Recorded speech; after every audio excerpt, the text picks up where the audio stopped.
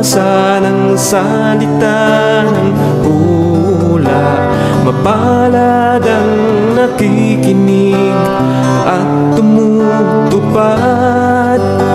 Mapalad ang nahahapis at sila ay aaliwin Mapalad ang nagugutom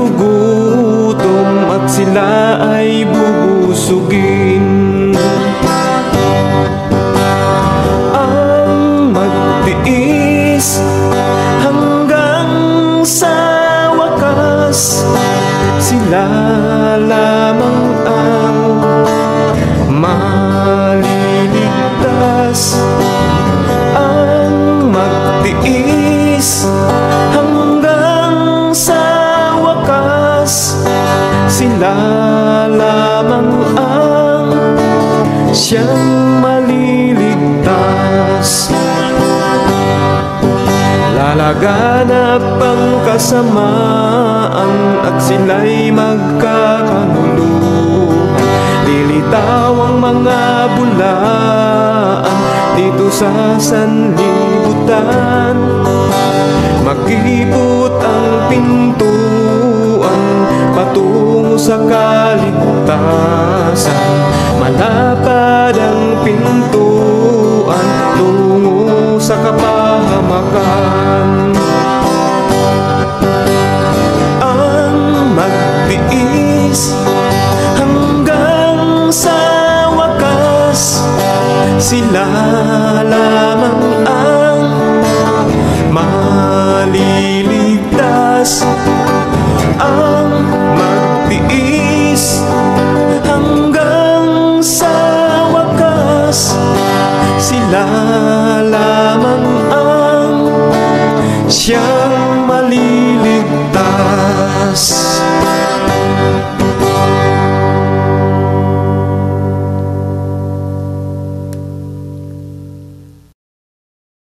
bagay na yan. Ngayon, Brother Camacho, ipakilala natin si Apostol Pablo. May kinalaman sa kanyang background. Sino ba si Apostol Pablo bago po siya tawagin Neso Kristo? Yan. Sige po. Isang ah, magandang pagkakataon ito mga kapatid sapagkat walang ibang makakapagpaliwanag ng talambuhay ni Apostol Pablo at ng tunay na pangyayari sa kanya kundi ang mga Kristiyano na bumabasa ng banal na kasulatan. Ano? Hindi ito may papaliwanag ng mga hindi naman Christians na ang layunin lang sa pagbabasa ng Biblia para tutulan ang salita ng Diyos. Pero ah, sa ating mga Kristiyano ay nakikita natin yung kahalagahan po ng buhay ni Apostol Pablo. Ano po? At ah, sa kanyang historical background, hindi, ang ah, unang pangalan ni Apostol Pablo, hindi naman talaga Pablo, kapatid na rin, Ah. kundi Saulo. Yan. Si Saulo po ay ipinanganak sa Tarso. O, yung Tarso po na yan, ah, sa panahon natin, dyan yan banda sa Turkey. Mm. Yan, mga ah, nasa 1 to 5 ah, AD nang siya po ay ah, ah, nabuhay o ipinanganak. Ano po?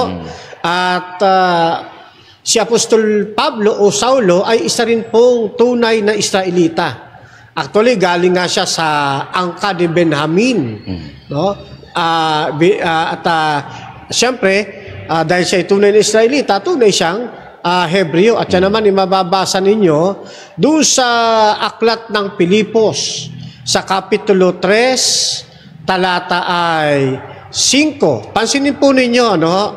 Ganito ho ang mababasa natin. Tutuloy tayo hanggang talatang 6. Pilipos 3, talatang 5. Ang sabi ganito, Tinuli ako sa ikawalong araw mula nang ako'y isilang.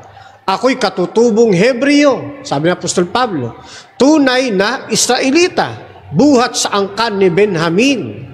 Kung pagsunod sa kautusan ng pag-uusapan, ako'y pareseyo. Ito yung kinukuha nung nakausap mo kagabi na hindi niya naintindihan bakit sinasabi ni Apostol Pablo na siya'y pareseyo. Oh? At sa sigasig, talatang 6, at sa sigasig ng aking pagsunog, inusig ko ang iglesia. Kung sa pagiging matuwid naman, ayon sa katusan, walang may pipinta sa akin, sabi ni Apostol Matindi Pablo. ba karon na ito, no? kasi talagang ah, masunurin siya eh, Mm. sa sa kautusan. Ah, tingnan pa ninyo isa pang talata. Gawa 22 talata ay 3. Yeah. Lapag natin sa magandang balita, Biblia. Ah, 22 verse 3 ng Aklat ng Mga Gawa. Sa ah, MBB. Ako'y isang Hudyo, sabi niya. Ipinanganak sa Tarso ng Sicilia, ngunit lumaki rito sa Jerusalem. Nag-aral ako kay Gamaliel at buong higpit na tinuruan sa katusan ng ating mga ninuno. Tulad ninyong lahat, ako'y masugid na naglilingkod sa Diyos. Kaya nga kung sa pagsunod, walang maipipintas kay Pablo eh. Talagang dedicated. At ah, alam ko familiar sa inyo yung kanyang ah, naging ah, professor si Gamaliel. Ano ho? At dito nga sa kasaysayan ni Pablo sa patuloy niyang pag-aaral, ano ho, na nasumpungan din ng maraming tagapagsaliksik ng Biblia na si Apostol Pablo ay isa ring abogado, kapatid na Ray. Talagang meron siyang mataas na pinag-aralan. May background talaga siya. Yes, meron siyang ah, magandang background. Ma- maganda yung kanyang educational ah, ah, background. no? Kaya nga, ah, dahil sa kanyang pagiging ah, abogado, siya ay siya po ay naging isa Mm. doon sa tinatawag na pagiging membro ng 71 na Sanhedrin. O hindi ka kasi magiging membro ng Sanhedrin kapatid kung ah, ang educational background mo ay ah, mababa. Ano ho? Yun. Yung Sanhedrin, para sa kalaman ng lahat, ito yung pinakamataas na hukuman ng mga Hudyo noong araw. Yan, kumbaga sa atin, itutumbas mo sa atin, Ang mga abogado talaga. yan na yung Supreme Court, pinakamataas na ya, na hukuman. Hukuman sa ating Yung bansa. sa kanila, Sanhedrin. So ganyang katindi yung naging background ng pag-aaral ni Apostol Pablo. Kaya si Apostol Pablo ay hindi basta-bastang tao ito. Mm. Oh. May mataas na pinag-aralan, kinikilala, membro ng Sanhedrin. Ano ho? Kaya nga, ah doon sa kanyang pagiging religyoso, oh, sabi niya, walang maipipintas na sa akin kung tungkol sa pagsunod. Oh, lahat ng katuruan ng, ah, ng ah, mga Hebreo, alam ni ah, Saulo. Ano po? Yan. Then, ah, dito, mapapansin natin, sa gawa 5, wag na natin ilapag sa screen, i, i ano ko lang, kukonstru ko na lang, ano? Okay? Doon sa gawa 5, samantalang laging naririnig ni Apostol Pablo, yung ginagawang pagtatanggol ni Apostol Pedro Mm. sa Ebanghelyo at maging sa pagtatanggol niya sa ating Panginoong Yesus, kahit na sa harapan ng mga umuusig kay Kristo at sa kanyang iglesia, laging nasusubaybayan ito ni Apostol ah, ah, ni, ni, ni Saulo nung araw. Ano? At makikita niyo sa kasaysayan niya, kasama niyang naroon din si Gamaliel. Ah, na etong ah, si Gamaliel, ah, si Gamaliel oh, kasama ito doon sa ah, gusto ring batuhin si Pedro pero pinipigilan ni Gamaliel. Mm. Oh. Kasi ibig sabihin, ang buhay, ang buhay ni Apostol Pablo talagang active. Mm. Oh, active. Biro mo, kasama kang nakakasaksi sa mga nangangaral sa salita ng Diyos. Kaya lang, iba yung pananaw ni, ah, ni Saulo rito. Mm. Akala ni Saulo, yung mga Kristiyano nung araw ay kalaban ng tunay na katuruan ng atin pong Panginoong Diyos. Yun ang kaibahan nito, kapatid na Ray. Kaya nga dumating ang pagkakataon, dinakip nila si Esteban, di ba? Oh. Siguro lang pag muna natin yung talata bago ko balik kay kapatid na Ray. Sa 7.58, magandang balita, Biblia. Hmm. Oo. Gawa 7. Kinaladkad nila si Esteban hanggang sa labas ng lungsod upang batuhin. Hinubad ng mga saksi ang kanilang mga kasuotan at iniwan sa isang binatang nagngangalang Saulo. Saulo. Ayan. So dito makikita natin, maging sa pagpatay kay Esteban, andun din si Saulo. Ano? Oh. Kaya lang, si Saulo noon, binata pa. Anong, uh, nung batuhin si, uh, uh, si Esteban. Oh. So makikita na sa buhay ni, ni Saulo, uh, andun yung determinasyon niya na usigin, ano, pagla, ano, paglahuin, ano termo niya? Lipulin, Wasakin. oh, wasakin yung mga Kristiyano nung araw. Kasi ang akala niya, naglilingkod siya sa tamang pananampalataya. At yung mga Kristiyan, oh, sila yung mga tao na basta, basta na lang uh, lumitaw Mm. na laban sa katuruan ng ating Panginoon. Kaya ganun siya kadeterminado na masugpo ang mga ito. Oh? At isa pa rito makita natin oh, ay talagang isa siya na sa nagpa-implement na si Esteban ay ah, mamatay sa pamamagitan po ng ah, bato. Bato. Oh, tingnan ninyo sa isa pang talata, sa 8.3 ng Aklat ng Mga Gawa. Sa kaparehong sali ng banal na kasulatan, magandang balita Biblia, samantala, sinikap ni Saulo na wasakin ng iglesia. Pinapasok niya ang bahay-bahay. Biruin po niyo, nag-house-to-house pa talaga siya. Mhm. At ano pa ginagawa? At kinakaladkad ang sumasampalataya.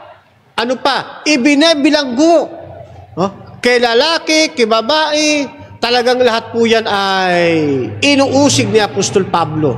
Ganyan po ang historical background ni Apostol Pablo nung hindi pa siya kapatid na rin nahihikayat sa pagiging kristyano. Balik ko muna sa iyo. Yan. Maganda yung binitawan yung salita. Bago siya mahikayat sa pagiging kristyano. Kasi ah, yung mga kaibigan natin na tumututol sa pagka-apostol o pagkasugo ni Pablo, para bagang nalunod na sila sa dating background ni Pablo. Yun.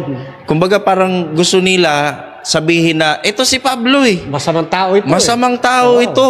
Kalaban nga ito ng mga Kristiyano. Oo. Para naman kayo kakampi ng Kristiyano ngayon. eh, ngayon kalaban din kayo ng Kristyanismo ah. Isipin mo, na, nag-gets yung point mga kapatid. Pa, ah, ito yung sinasabing hindi totoong nagmamalasakit. Hmm. Bakit po? Kasi para bagang sinasabi nila na, Uy, eh, dating kalaban yan si Pablo eh. Kalaban yan. Eh, Oo. Hindi yan mabuting tao. Yeah. Parang nagmamalasakit sila sa mga Kristiyano. Pero kung titingnan mo, kinakalaban din naman ninyo ngayon ang mga Kristiyano. Correct. Oh. Ngayon, si Pablo, pinag-iinitan nila dahil daw si Pablo, kagaya ng inilahad ni Brother Camacho, siya po ay isang manguusig. Accept naman talaga yan ng mga Kristiyano. Oo. Wala namang mga Kristiyano hindi nakakaalam na si Pablo dating manguusig. Dagdagan po natin yung talata. Pakilagay po yung Galacia, Kapitulo 1, talatang 13 hanggang 15. Sa saling magandang balita, Biblia.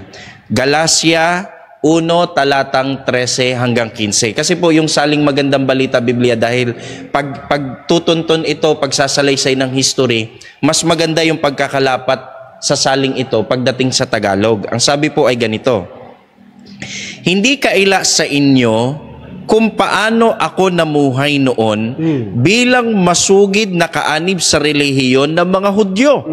Wala akong wala akong awang inusig o walang awa kong inusig ang iglesia ng Diyos at sinikap na ito'y wasakin. Verse 14. Sa relihiyong iyon, ako'y naging masugid ng higit sa maraming Hudyong kasing edad ko. Mm. Dahil ako'y panatiko sa kaugalian ng aming mga ninuno. 15. Ngunit sa kagandahang loob ng Diyos, minabuti niyang ako'y piliin bago pa ako ipanganak Yun. at tinawag niya ako upang maging isang lingkod niya. Ito patutuo ni Apostol Pablo. Hindi niya naman hindi niya naman ipinagkaila na dati siyang manguusig. Ang sabi nga dito, sinikap niya daw wasakin. O yung termino kanina na binanggit ni Brother Camacho is i-wipe, i-wipe out yung alisin, Ubusin burahin. Talaga, oo, burahin. Alisin talaga sa mundo yung Kristyanismo. Oh. Ito talaga si Pablo noong araw. Kami mismo nagsasabi, ito si Pablo noong araw. Eh ano pagkakaiba? kagaya ng isang makasalanang tao, binigyan ng Diyos ng pagkakataon na magbalik loob. Bakit? Kasi si Pablo dedicated sa relihiyon, sa paglilingkod. Nga lamang mali yung kanyang pananaw. Oh. Marami pong ganyan sa inyo. Oh. Mga kaibigan po namin na mga balik Islam, mga Muslim, maraming ganyan sa inyo. Masigasig sa paglilingkod, mali lang ang pananaw. Oh. Kaya inaanyayahan po namin kayo dito po sa tunay na aral. Bakit hindi nyo po bigyan ng chance ng pagkakataon na aralin po ang pananampalataya ng mga Kristiyano, especially sa Seventh-day Adventist? Bakit po? Sapagkat gaya ni Pablo, hindi kami nawawalan ng pag-asa. Si Pablo nga, sinikap, wasaki ng iglesia, tinawag ng Diyos at naging tagapagtanggol ng pananampalataya ng mga Kristiyano. Kahit po kayo pwedeng tawagin. Actually, marami nang nagbalik loob mula doon sa pananampalatayang kalaban ni Apostol Pablo tungo sa pagiging pro kay Apostol Pablo. Mga tahimik lamang po sila. Kaya po dito sa ating tinatalakay, binigyan lamang po namin kayo ng background. Background. Sino si Apostol Pablo para hindi po tayo ah, basta maparatangan na, ah, hindi mo ata kilala si Pablo. Oo. Baka akala mo ata si Pablo mabuting tao. Oo. Yan. At least ipinakita namin sa inyo, si Pablo ay dating mang-uusig sa iglesia kasang-ayon sa pagkamatay ng maraming mga lingkod ng ating Panginoon, especially kay Esteban. At gaya ng kanyang patutuo, talaga pong siya ay kalaban ng Kristyanismo kasi akala niya ang mga ang mga Kristiyano noong araw is binabago yung pananampalataya ng mga Hudyo. Eh syempre bilang isang Hudyo, bilang isang Pariseo, eh nakikita niya yung banta sa kanyang relihiyon. Oo. Kaya akala niya ang mga Kristiyano ito ay kaaway sa daan ng katotohanan. Ngayon, Natapos ba doon sa sa pagiging manguusig yung buhay ni Apostol Pablo? Eh gaya ng ating binasa eh kinahabagan daw siya ng ating Panginoon. Puntahan natin yung tagpong ito, Brother Yan, Camacho. maganda. Oo. Kung paanong si Apostol Pablo is dating manguusig. Ano naman yung turo ng Bible? Paano naman naging ah, mananampalataya, naging isang Kristiyano, naging sugo ng Diyos ang ating Panginoong Kristo? Ito ba'y trip-trip lang nating mga Adventist? Ay, hindi Totoo ba po, na oo. sa Biblia ay naganap na si Apostol Pablo ay tinawag ni Kristo? Sige po. Oo. Kasi maraming nagsasabi, eh basta lang daw tumayong apostol yan, di naman tinawag eh. Oo, inutusan lang daw bumili ng suka eh. Kasi ang apostol lang, eh labid dalawa lang naman daw ang Ayan, apostol. maganda eh, yan, ah. dumagdag sa pang 13 na. Ito gumagawa ng mga kwento ang iba. Kaya sabi ko nga sa inyo kanina, no, walang ibang makakapagpaliwanag ng sapat sa inyo tungkol sa buhay ni Apostol Pablo, kundi ang mga nagbabasa talaga o mga Kristiyano na siyang umaaral ng Biblia. Ano? Sa sa tanong ng atin pong kapatid na Remukada, hindi natin may aalis na ang aklat po ng mga gawa, Kapitulo, uh, Kapitulo 9, ang siya pong isa sa mga pinakamahalagang pagsasalaysay Mm. sa buhay ni Apostol Pablo. Mula sa kanyang pagiging manguusig, sa kanyang pagiging lumang tao at kung paano siya tinawag ng ating ah, Panginoon. At dito sa chapter 9, verse ah, 1 ng aklat na magawa, ah, siguro mailapag natin. Hmm. Yan. Magandang balita Biblia. Gusto kasing basahin yung magandang balita Biblia para mas clear, mas ah, mababaw kasi pagkakasalin. Samantala, masidhi ang pagnanais ni Saulo. Saulo pa ang pangalan niya, no? Na usigin at patayin. Yun po ninyo yan, no? Usigin at patayin ang mga alagad ng Panginoon. No? Kaya lumapit siya sa pinakapunong saserdote, talatang dos. At humingi ng mga sulat para sa mga sinagoga sa Damasco upang madakip niya ang sino mang matagpuan niya roong kaanib sa, ba, sa bagong pananampalataya. Maging lalaki, maging babae, at madala sa Jerusalem. Mm. So dito nakikita ninyo yung yung ah, pagkakaungkat ng buhay ni Apostol Pablo, no? Talagang akala talaga niya naglilingkod siya sa tama eh, Mm. no? Parang kayo rin.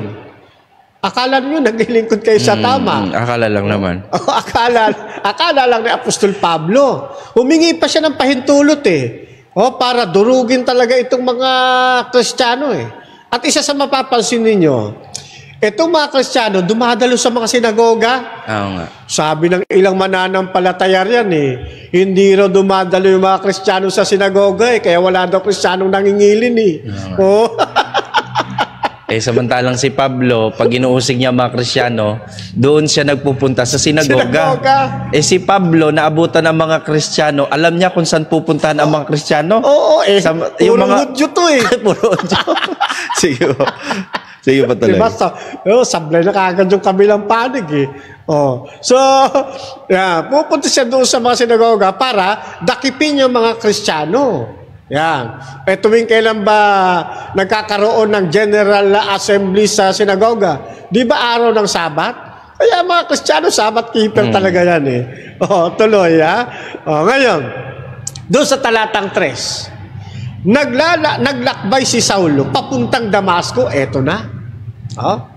Binabagtas na niya ngayon yung pa-Damasco. At nang siya'y malapit na sa lungsod, biglang kumislap sa paligid niya ang isang nakakasilaw na liwanag mula sa langit. O, tingnan ninyo ha. Natumba siya, talatang 4. Natumba siya sa lupa at narinig niya ang tinig na nagsasabi, Saulo, Saulo, bakit mo ako inuusig? Mm. Talatang 5. Sabi ni Saulo, Sino kayo, Panginoon? Ngayon? Tanong niya. Sumagot yung tinig, Ako si Jesus, ang iyong inuusig. Tugon ng tinig sa kanya. Talatang 6. Tumayo ka't pumasok sa lungsod at dooy sasabihin sa iyo kung ano ang dapat mong gawin. Ayun. So dito na nagsimula yung pagtawag kay Apostol Pablo na dating pusakal ng mga Kristiyano. Mm. Na dating umuusig sa mga Kristiyano. Sa kasaysayang ito ng pagkatawag kay Apostol Pablo, oh, ah, kung paiikliin natin ang ah, kwento, baka umabot tayo ng kinabukasan, ano ho, hanggang sa talagang nakonverte na kapatid na Ray si ah, si Pablo. At sa kanyang pagkakonverte, ganito po ang sabi niya. Unang Timoteo 1.15. Yan. Unang Timoteo 1.15, magandang balita, Biblia. Unang Timoteo. 1.15. Yan. 1.15 ng magandang balita, Biblia. Narito ang isang katotohanan. Dapat tanggapit paniwalaan ng lahat. Si Kristo Jesus ay naparito sa sanlibutan upang iligtas ang mga makasalanan. Oops, tignan ninyo. Buhat mula ah, ah, doon sa pagiging pusakal o pagiging mang-uusig ni Apostol Pablo sa mga Kristiyano nang siya'y nahikayat na ngayon nang tawagin siya ni Jesus. O kaya yung sinasabi ng iba eh, ano sabi nung kausap ko, eh hindi daw na-encounter Yun ni lang. Pablo si Jesus. Hindi daw eh. Mali. Na-encounter si Jesus mismo tumawag sa kanya eh. Di ba? Sabi nga doon sa unang talata, "Eh, sino ka? Ang sabi nung tinig eh, ako ang, pangi- ah, ako ang iyong inuusig. Di ba? Ako si Jesus. Oh, ako si Jesus, ang iyong inuusig. Nag, pero silang personal encounter. Mm. Yun. At dito sabi rito, narito ang isang katotohanan niya. Dapat tanggapit paniwalaan ng lahat. Si Kristo Jesus ay napako sa sanlibutan upang iligtas ang mga makasalanan. At ako ang pinakamasama sa lahat. Mm. Inaamin ni Apostol Pablo. Mm. Oh, yung kanyang naging kahinaan nung wala pa siya pan- sa pananampalataya. Sabi niya, ako ang pinakamasama sa lahat. Mm. Na parito pala si Kristo para iligtas ang mga makasalanan. Talatang 16. Ngunit, ano sabi? Kinahabagan ako ng Diyos upang sa nangyari sa akin ay ipakita ay ipinakita ni Kristo ni Kristo Jesus kung gaano niya kung gaano siya kataga at maging halimbawa ito sa mga nananalig sa kanya at pagkakalooban ng buhay na walang hanggan. So nakita niyo yung transition mga kapatid ano? mula sa pagiging ah, Saulo, ngayon naman ay ah, tinawag siya ng Diyos at inadapt na niya yung pangalan niyang ah, Pablo sa Roma. Mm. Ano? At dito, siya ngayon ay tinatawag na kinikilala bilang si Apostol Pablo kapatid na rin. Ayan. Napansin niyo po ba? Hindi inimbento ng mga Kristiyano yung pagtanggap namin kay Apostol Pablo bilang apostol.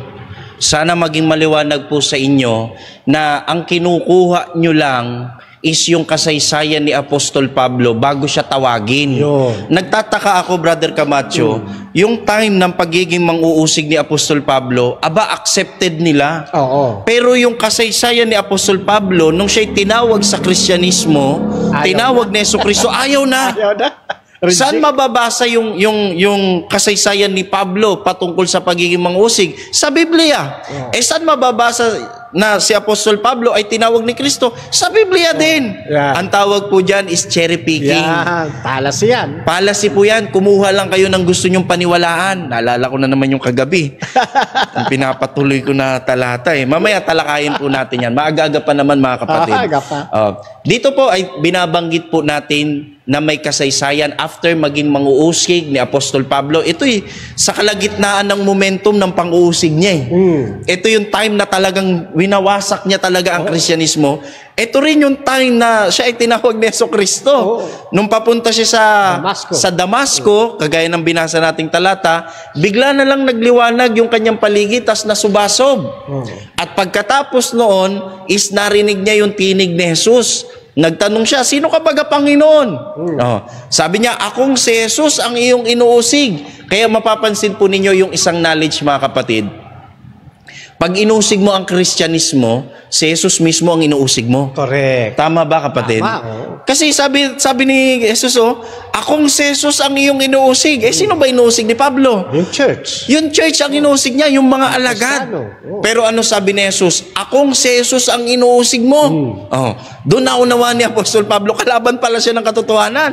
Kaya ano sabi ni Yeso Kristo? Magtindig ka. Actually, nabulag pa nga siya dito eh. Oo, nabulag. Pero ano sabi ni, Apos, ni, ni Jesus sa kanya? Magtindig ka, tapos pumunta ka sa isang lugar at sasalitain sa iyo ang mga bagay na dapat mong gawin. Sa ibang ah, talata ng Biblia, isusugo kita sa mga hintil. Oh, dito may may pagkatawag talaga na naganap. May pangyayari talaga na naganap. At yung yung statement na ito ni Lucas, si Lucas po ha, si Lucas ang sumulat ng aklat ng mga gawa. Binanaan ko na nga. Lucas yan eh, Lucas, hindi hindi si Pablo ha. Oh. Sa statement ni Lucas, patungkol sa binasa ni Brother Camacho, yung, yung pagkatawag sa kanya, ito rin yung statement ni Apostol Pablo. Hindi siya nag-imbento, dalawang beses. Correct. Meron siyang statement, una sa taong bayan, ikalawa doon sa harapan na ng haring si Agripa. At kung mapapansin po ninyo, yung dalawang statement niya ay parehong pareho. Alam mo kasi Brother Camacho sa korte, ganyan magtanong yung mga abogado eh. Nag, Oo. na nire-revise lang nila yung question pero pag biglang nagbago yung sagot mo delikado. Oo. Oh. Ibig sabihin, yung dalawang statement na ito ni Apostol Pablo, nagpapakita na siya'y tunay na sugo ng Diyos. Bakit? Kasi dito naghahanap ng kontrahan yung mga Muslim, wala silang mapatunayan kahit isa. Correct. Ang totoo, pag binasa mo yung dalawang yan, nagtutulong yan para mag, magbigay ng mas detalyadong statement paano tinawag si Apostol Pablo. Oo. Kaya makikita natin, ulitin natin, hindi po inimbento, hindi po inimbento ng mga Kristiyano ang patungkol sa pagkatawag ni Apostol Pablo. Bakit? Unang-una, pinatotohanan ni Lucas. Yan.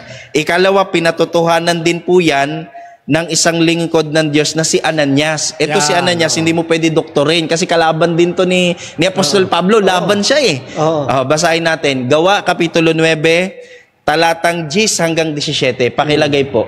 Gawa, Kapitulo 9, talatang 10 hanggang 17. Magandang balita, Biblia. Ayaw pa nga sana niyang puntahan si Pablo eh. Oh, kasi ayaw niya, naririnig niya eh. May balita siya kay Apostol Pablo na ito ay isang manguusig. Baka patayin siya eh. Gawa, Kapitulo 9, talatang 10 hanggang 17. Ito po yung pahayag. Sa Damasco naman, ay may isang alagad na ang pangalay Ananias. Tinawag siya ng Panginoon sa pamamagitan ng isang pangitain Ananias, ano po iyon, Panginoon? Tugon niya. Inutusan siya ng Panginoon, pumunta ka sa kalyeng tinatawag na matuwid sa bahay ni Judas at ipagtanong mo ang isang lalaking taga-Tarso na ang pangalay Saulo. Siya'y nananalangin ngayon. Sa isang pangitain, nakita kanyang pumasok sa kinaroroonan niya at pinatungan mo siya ng kamay upang siya'y makakitang muli. Sumagot si Ananias. Pansinin po ninyo ha. Sabi ni Ananias, Panginoon, marami na po ang nagbalita sa akin tungkol sa taong ito at tungkol sa mga kasamaang ginawa niya sa inyong mga hinirang sa Jerusalem. Ibig sabihin, Oh, no. ah, naka-blacklist to si Apostol Pablo sa mga Kristiyano. Oo. Pre, nangangamba rin siya eh. Nangangamba eh. Kumbaga, ang mabibigat na kalaban, alam ng mga Kristiyano eh. Kaya sabi ni Ananias, Panginoon, bakit, bakit mo gusto makakita ulit ang taong ito? Eh, marami na akong nabalitaan sa taong ito eh. Oo. At ang taong ito, ito ay gumawa ng malaking kasamaan sa iyong mga hinirang sa Jerusalem. Oh, ibig sabihin, laban talaga siya kay Pablo noong una kasi mangusig nga eh. Hmm. Ah, pero ano sabi ng Panginoon? Ang sabi po dito sa 14, verse 14, At naparito siya sa Damasco, taglay ang kapangyarihang galing sa mga punong pari ng mga Hudyo upang dakpin ang lahat ng mga tumatawag sa iyong pangalan. 15, Ngunit sinabi sa kanya ng Panginoon, pumunta ka roon, sapagkat pinili ko siya. Yan. Ah, buti pa nga si Pablo, may pagkapili eh. Eh, yung kinikilala niyong propeta eh, wala eh. Walang saksi. Nagpunta lang doon sa kuweba eh. Pagbalik, propeta na eh. Oo.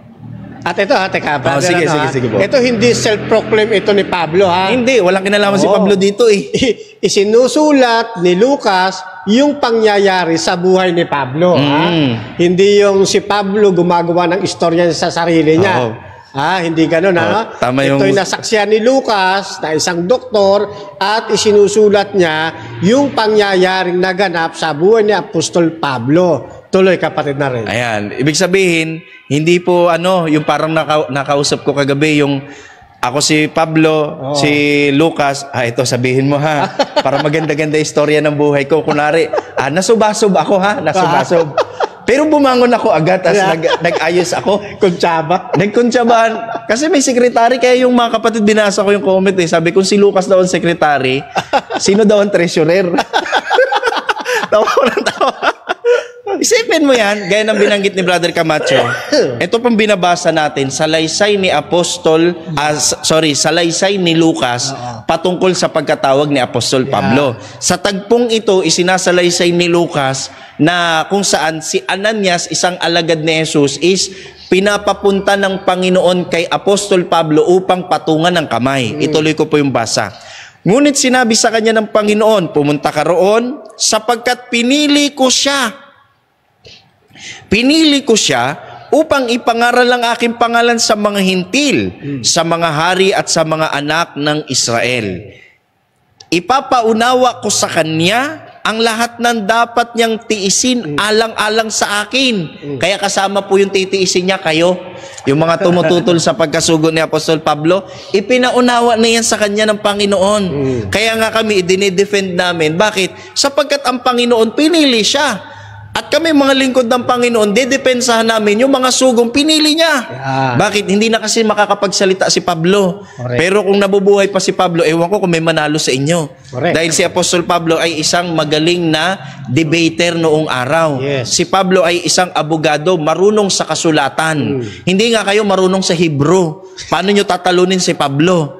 Baka pag, sinal, pa- baka pag kinausap kayo sa wikang Hebrew ni Pablo, baka ngumangalang kayo. Oh.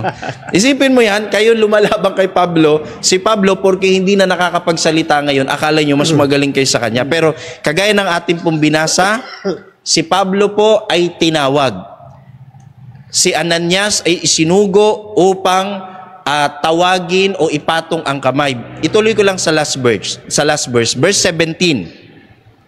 Pumunta nga si Ananias sa naturang bahay at ipinagtanong ang kanyang ah, ipinagtanong ang kanyang kamay kay Saulo. Sabi niya, kapatid na Saulo, ah, ipinatong, sorry. Ipinatong ang kanyang kamay kay Saulo. Sinabi niya, kapatid na Saulo, Pinapunta ako rito ng Panginoong Jesus na nagpakita sa iyo sa daan na ikaw ay pupunta rito.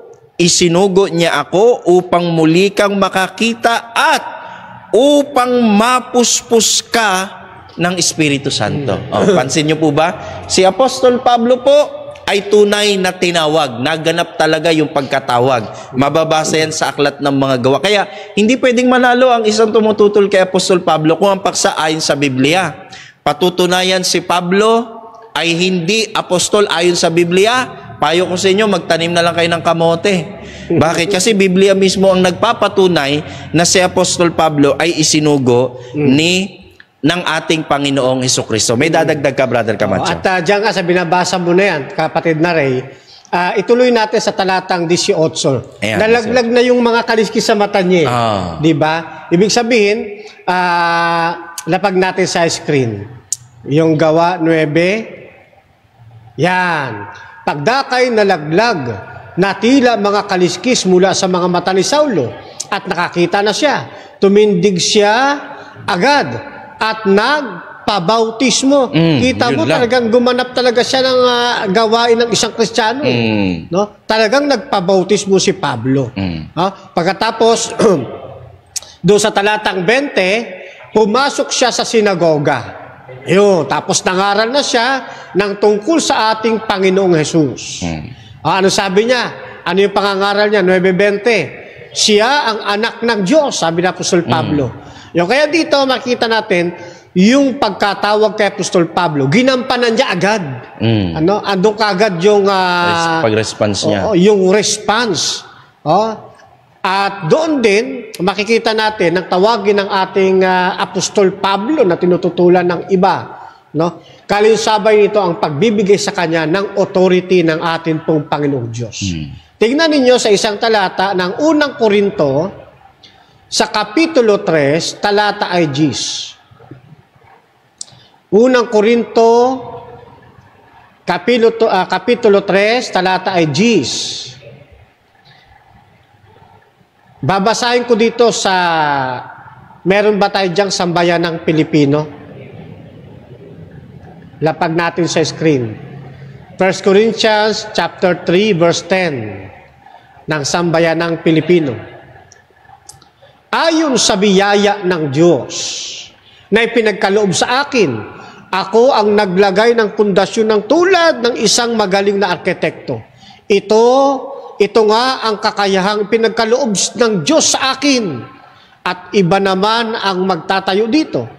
Mag-ingat lamang ang bawat isa kung paano siya magtayo. Hindi pwedeng mailagay ang isang ah, naiibang pundasyon maliban sa nailagay na si Yesu Kristo. So nakikita niyo po yung mga terminong ito nga ang kakayahang ipinagkaloob ng Diyos sa akin. Yan. Ah, Ngayon, sa unang Timoteo, isa pang talata, unang Timoteo 1.12. Yeah. Unang Timoteo 1.12. Yeah. Pinasasalamatan ko ang humirang sa akin. Sino? Sino yung humirang? Pinasasalamatan ko ang humirang sa akin si Heso Kristo na ating Panginoon. Nagtiwala siya sa akin sa pagtatalaga niya sa akin na tagapaglingkod. Ayo, kaya sabi ng kapatid na na munkada, oh, hindi ito isang ano ah, hindi lang ito basta tumakbo siya sa sarili niyang kagustuhan eh. Mm. Talagang hinirang siya. Mm. Binigyan siya ng authority. Tinawag siya ng Diyos sa gawaing paglilingkod bilang isang apostol. Kaya wag na tayo magbilangan, labindalawa apostol, naging, labda, labinda- naging labintatlo na.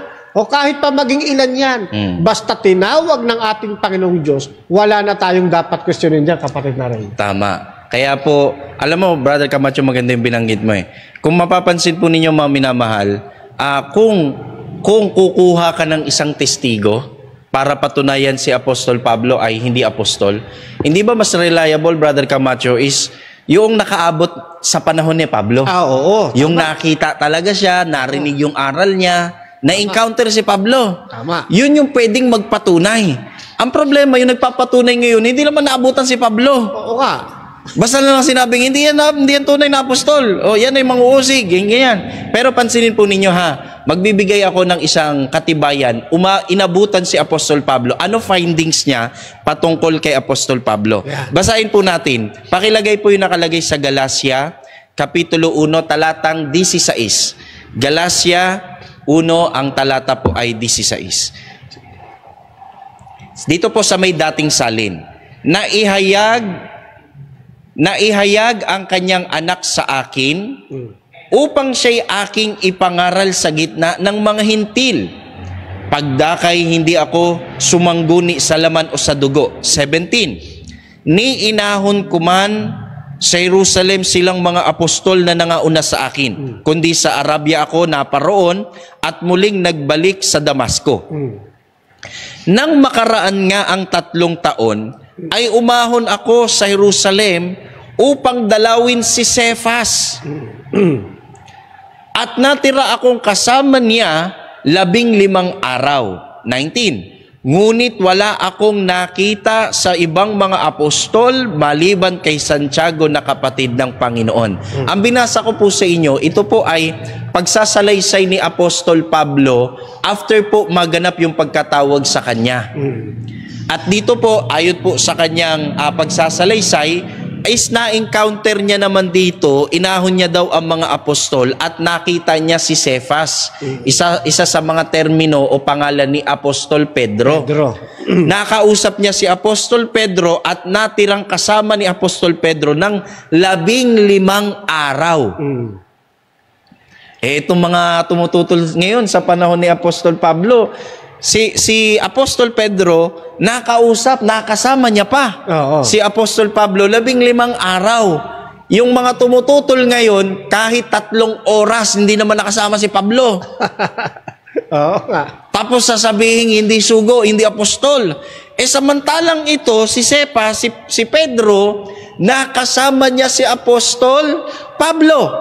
Eh nung nakasama niya ngayon si Apostol Pablo, ano naging pananaw ni Apostol Pedro kay Apostol Pablo? Yeah. Ah, eto magandang magandang ah, pagsasalarawan po ito. Ah, ikalawang Pedro kapitulo 3 talatang 15. Ito'y sulat naman ni Apostol Pedro. O ulitin ko ha, yung ikalawang Pedro, hindi po ito sulat ni Pablo. Yan. Sulat ni Pedro. Ped, kaya nga, ikalawang Pedro eh. At brother, ah, Ah. take note ha, si Pedro hindi sekretary ni Pablo ha. Isipin nyo yung mga minamahala. Yung 30 na sulat ni Pablo, sasabihin nila, hindi si Pablo gumawa niyan. Samantalang yung sulat, yung hindi na sulat ni Pablo, sasabihin kay Pablo. Pag sulat ni Pablo, itinatanggi nilang kay Pablo. Oo. Yung hindi sulat ni Pablo, ipinaangking kay Pablo. ano ba talaga? Saan ba kami lulugar? Basahin natin. Ikalawang Pedro 3 talatang 15. Ganito po yung ating mababasa. At inyong ariin na ang pagpapahinuhod ng ating Panginoon ay pagliligtas. Nagaya rin naman ni Pablo. O, binanggit ni Oh, Pedro si Pablo. O, kasi nakasama niya eh. Oh. O, ito yung findings niya. At inyong ariin na ang pagpapahinuhod ng ating Panginoon ay pagliligtas, nagaya rin naman ni Pablo. O, yung pagpapahinuhod, yung gawain pagliligtas daw sa mga kapatid, nangyari din daw kay Pablo. Kaya ang sabi niya, yung pagliligtas ng Panginoon, nagaya rin naman ni Pablo na ating minamahal na kapatid, na ayon sa karunungang ibinigay sa kanya. No. Ayon sa karunungang ibinigay sa kanya, ay sinulatan kayo. Gayon din naman sa lahat ng kanyang mga sulat, na dooy sinasalita ang mga bagay na ito. Na dooy may ilang mga bagay na mahirap unawain, at isinasaysay ng mga di nakakaalam at mga walang tiyaga. Nagaya rin naman ng kanilang ginagawa sa ibang mga kasulatan sa ikapapahamak din nila. Napansin niyo po ba yon? Kasing bigat ng sulat ni Apostol Pedro yung sulat ni Apostol Pablo. Kaya makikita mo may ano eh, mga inspired yung sulat nila. Bakit? Kasi po, pag isininsay mo daw, minali mo daw yung sulat ni Apostol Pablo, ito'y sa ikapapahamak mo daw. Mm. Napansin niyo po ba yon? Iba yung naging findings ng isang naka, nakasalamuha si Pablo kaysa sa hindi niya na, hindi naman naabutan si Pablo. Yung naabutan si Pablo, ang sabi siya ay minamahal na kapatid. Yung gawaing pagliligtas daw ng Panginoon, dumating din daw kay Pablo. At sa karunungang ibinigay sa kanya, sinulatan kayo. Kaya po yung sulat ni Apostol Pablo, ito po ay may pagkasi ng banal na espiritu. Ito po ay inspired kasing bigat ng sulat ni Apostol Pedro. Yeah, yeah. Kaya dito makikita natin yung isang katotohanan na na may sumusupport hindi hindi namin basta tinanggap yung yung testimony ni Apostol Pablo na siya'y tinawag. Kundi may mga alagad na naabutan siya na nagsusupport na tunay siyang pinili ni Kristo. Si Lucas, si Ananias, at si Apostol Pedro. Yeah. Ito'y matibay na katunayan na si Apostol Pablo ay tunay na sinugo o apostol ng Panginoon. Sige po, may dadagdag ka, So Brother Camacho. napaka napakalinaw ano? At ah, alam niyo mga kapatid kung kung tututukan niyo ang talambuhay ni Apostol Pablo, Mm. napakarami po kayong matututunan. Ano? Tama. ho? Isa na rito yung binabanggit dito sa aklat ng ah, Pilipos 1.21 kapatid na yan, kapatid na Alex. Yan, Pilipos chapter 1 verse 21. Kapatid na Alex. Oh, kapatid na anak na Alex. ano sabi?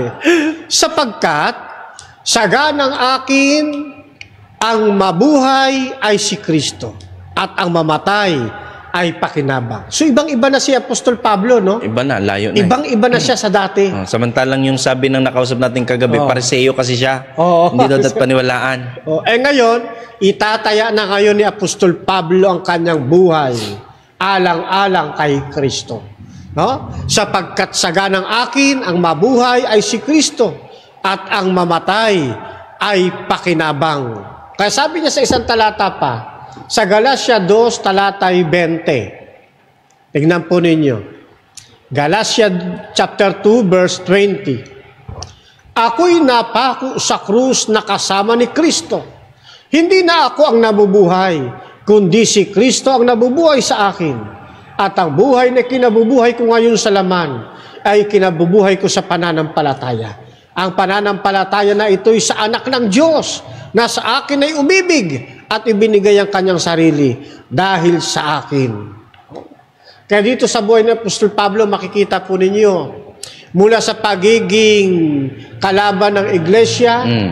ngayon ay kakampi ng iglesia, at itinataya na niya ang kanyang buhay alang-alang kay Kristo.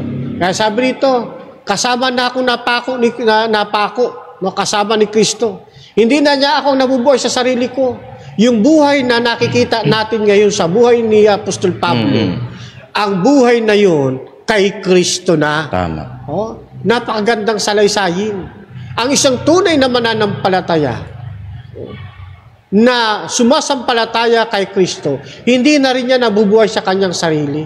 Ang kanilang kinabubuhay sa pananampalataya ay pawang kay Kristo. Kaya nga sa panig namin eh, ng mga Seventh Adventist, oh, anumang uri ng usapan, mapa-dialogue, mapa-Bible study, mga ganitong mga serye, ano po, ipinaglilingkod namin at kinukuha natin ang karapatang ito sa atin pong Panginoong Iso Kristo. Mm. O kaya nga, kayong mga tumututol kay Apostol Pablo, huwag na kayong tumutol, mga kaibigan, mga kapatid. Kundi, pag-aralan ninyo ng gusto ang buhay ni Apostol Pablo, baka sakaling, katulad ni Apostol Pablo nung araw, kayo rin ay makalasap ng tunay na liwanag at mapunta sa tamang paglilingkod kapatid na rin. Ayan, idadagdag ko po itong ah, katumbas nung tinawag si Apostol Pablo ng ating Panginoong Sukristo. Ano po katumbas po nito? Meron kasi akong naririnig, Brother Camacho, ah, sinasabi nila, lahat ng mga propeta, ang Diyos ang tumatawag. Ah. Samantalang si Pablo, si Kristo ang tumawag. Ayo, ba- Si Pablo lang daw ang tanging nagturo na siya'y tinawag ni Kristo. Samantalang lahat daw ng propeta nagtuturo na sila'y sinugo o tinawag ng Diyos. Oh, para para bagang sinasabi nila, iba yung salaysay ni Pablo sa pagtawag ng ibang mga sinugo ng Diyos. Pero pansinin po ninyo mga minamahal. Pakilagay po yung Juan 12 talatang 49. Juan 12 talatang 49. Ganito po yung ating mababasa. Ang sabi po ay ganito, Sapagkat ako'y hindi nagsasalita na mula sa aking sarili, kundi ang Ama na sa akin ay nagsugo, ay siyang nagbigay sa akin ng utos kung ano ang dapat kong sabihin At? at kung ano ang dapat kong salitain. Ibig sabihin po, ang turo ni Yeso Kristo, ang Ama daw ang nag-uutos sa Kanya kung ano daw yung dapat niyang sabihin at yung dapat niyang salitain. Kaya may kita natin dito, ano katumbas ng pagsusugo ni Jesus kay Apostol Pablo? Eh siyempre katumbas nun, ito'y pagsusugo rin ng ating Panginoon Diyos.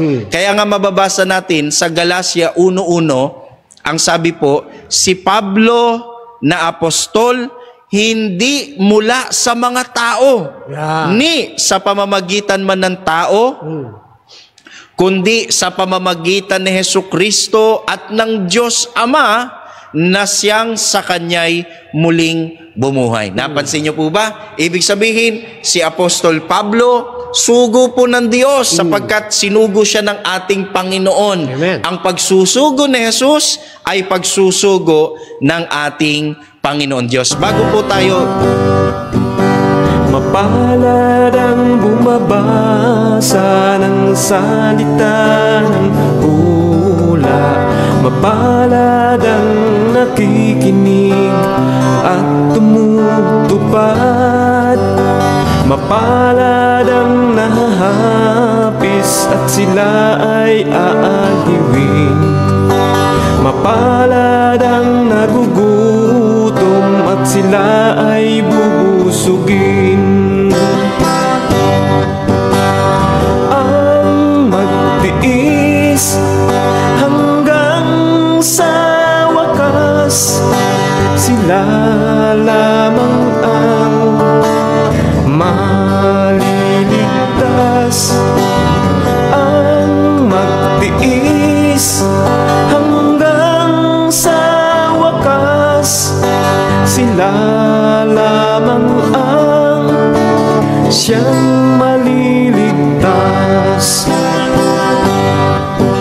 Lalaganap ang kasamaan at sila'y magkakanuluhan Lilitaw ang mga bulaan dito sa sanlibutan Makipot ang pintuan patungo sa kaligtasan.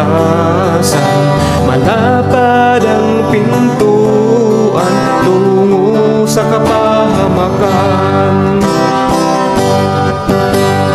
Ang magtiis hanggang sa sila lamang ang maliligtas. Ang magtiis hanggang sa wakas. Sila lamang ang siyang